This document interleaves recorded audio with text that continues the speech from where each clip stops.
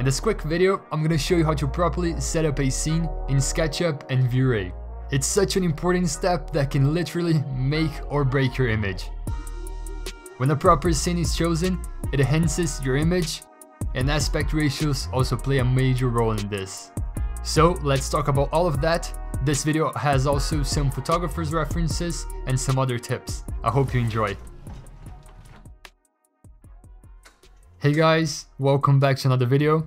I'm Oliver from Upstairs, a platform dedicated to learn architectural representation and visualization. If you're new around here, make sure to subscribe if you haven't already.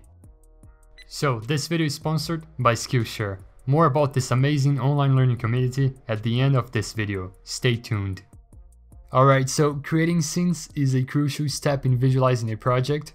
It's definitely worthless if you design a beautiful place model everything perfectly, and then when the part where you actually get to show people what you've done, you do a poor job at creating the scenes and the images end up not showing the atmosphere you expected.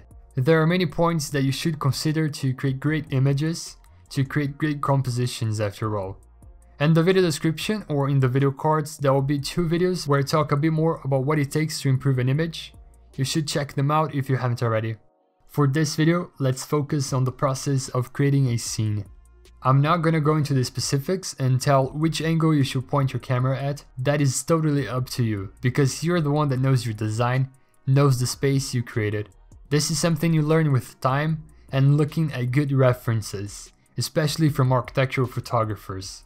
I suggest frequently looking at architectural photos. You can go on ArchDaily and see a bunch of curated projects, definitely a good start, but better than that is to go after photographers. A suggestion is to study how they took the photo, you study the lines, the camera placement, how he or she works with depth, lighting. All of that will help you create better images, will help you during the scene creation, rendering, and post-production. I have picked three photographers from Brazil that have outstanding work, and I'm going to quickly share them in this video before we jump into the short tutorial. The first one is Pedro Kok, amazing sensibility, really awesome work. You can see how he beautifully plays with depth.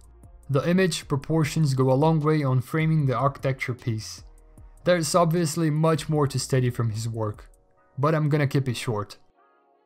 Then, Maira Acayaba, she has also powerful photos. Can you see how the architectural photos have verticals pretty much always straight up? With few intentional exceptions of course, but it's often either framing the building flat or on the corner, not somewhat in the middle. Well, I'm not an expert in this field, but as I progress developing my skills in the visualization field, I've started to pick up some common doings from these photographers I look up to. Now, as I said, I don't want to get too deep into the references, but the last one is Eduardo Macarios. He's more focused on interior shots Although I've seen some more recent work on exterior as well, and it's really really good. I used to work in the same building as him, amazing photographer, definitely worth checking him out. All the info will be in the video description, so you can follow them there. And before we jump into the short tutorial, do you have any photographers that you follow? I'd love to know your thoughts on it. If you can, leave a comment down below. Alright, so I'm gonna use SketchUp, as you know, but I'm sure you can adapt the workflow for the program you use.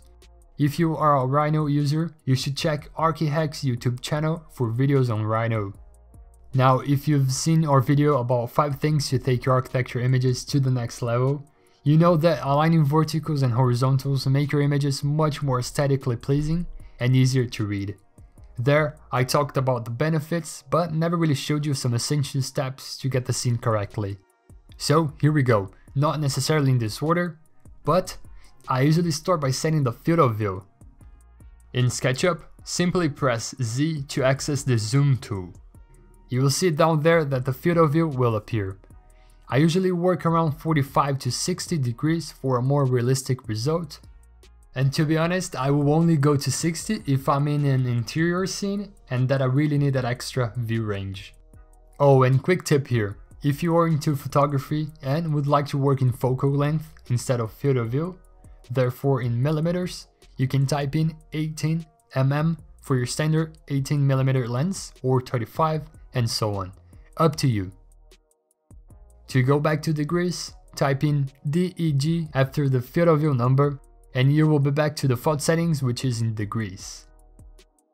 Okay then, with your field of view ready, position your little guy more or less where you want your scene to be.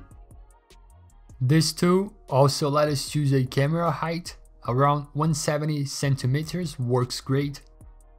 But sometimes a low camera height can be really interesting to create different moods in the final result. You just gotta type in the number with your little man selected. Be aware that the little guy should be set before actually placing him, and it sets the distance to the floor you clicked. And the eye tool sets the distance based on the axis, so keep that in mind. Now another useful tool is the walk tool, to go back and forth. It's pretty handy because it maintains the camera height. Awesome, now the next step is grabbing the eye tool and aligning the horizontals flat. And this is the case if you're framing your image flat. If you're going for a corner image, adapt this step, alright? Now, if you have something in your image to use as an align guide, just go there and match that line to the top edge of your viewport.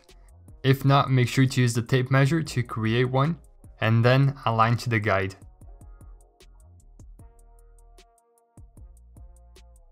Do not worry with the verticals just yet, you can leave them pretty skewed if needed.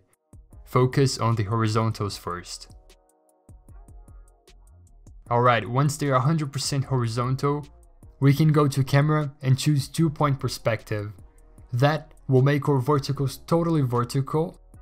But look, from now on, you cannot move your camera anymore, or it will mess up the view. So what I suggest is to save a scene, and if you need to position the camera a little far back for example, I recommend going back to the little man step and set up the camera again.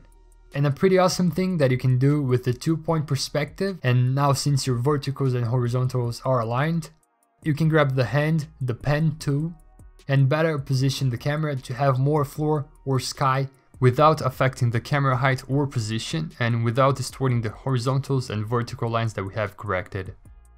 I think for this one I might balance the space above and below the pillar. And then don't forget to update your scene after any changes. Now let's combine SketchUp and V-Ray to use the full potential of both of these programs on scene creation. As I said, there's not an exact order you should do each of these moves. Sometimes I start with the V-Ray step I'm gonna show you now, and sometimes I just work firstly with the camera and zoom tool in SketchUp. It's important to know that this might vary. From V-Ray 3 and up, we got this amazing update which allows us to place these black bars on the side to work with different dimensions other than your standard viewport aspect ratio. This is incredible, especially to create vertical renderings. It's so much easier now. You can choose from the presets V-Ray has, or go to custom and create any aspect ratio you want. But be aware that sometimes when you change the aspect ratio, your field of view will change as well. So you might need to double check that and redo some steps. We are used to seeing standard 16 by 9 renders, right? But did you notice how the photographers I showed you had a mix of various aspect ratios? Each one enables a different sensation to the viewer and you should learn how to take advantage of all aspect ratios. Now, just to finish up, let me tell you that I usually go back and forth with the scene creation until I get the one I want. I test the aspect ratios, then set up a scene, then fix something, go back, do it again. It's a process that isn't really linear, just as any part of visualization really. Test all the possibilities and with time and reference study, you will understand how to make your framing better. Alright, before we head out, I want to talk with you about the sponsor of today's video, Skillshare. So Skillshare is a community for online learning that has literally thousands of inspiring classes on many creative topics. If you're feeling anxious about what we're going through, as I am, I usually try to do something creative, not related to work or school. Practice a creative skill or dive deep into a new subject.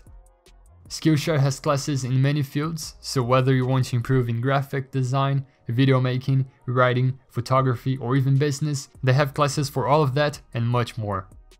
And there's one specific class I would like to suggest you, which is about painting. It's called Postcards from Here. Playing with Ink by Dylan Mierzwinski. She teaches about using ink differently from what we're used to. It's great to have a different view of art and illustration so that we can apply new techniques in architectural images. She also emphasizes a lot on how important it is to have personality and identity in a drawing. I agree 100% with that. Amazing class. Skillshare is curated specifically for learning, meaning that there's no ads and they're always launching new premium classes and it's less than 10 bucks a month if you sign up for the annual subscription. Well, but since we are partnering up, the first 1000 of my subscribers to click the link in the description will get 2 months for free of premium membership, so that you can try it out and see if it's for you. I highly recommend taking a look. Thanks Skillshare for being a supporter of this channel and sponsoring this video. Alright guys, so that's it for this video. I hope you enjoyed and learned something today. If so, make sure to give this video a like and share with your architectural friends. Oh, and if you're wondering what has happened to OU Graphics, we have changed the identity to upstairs. In the video description there will be a video that talks about this change. And also we've been really consistent on Instagram. If you don't follow us there, make sure to check at learnupstairs. Okay, thanks a lot for watching and I'll see you in the next video. Bye!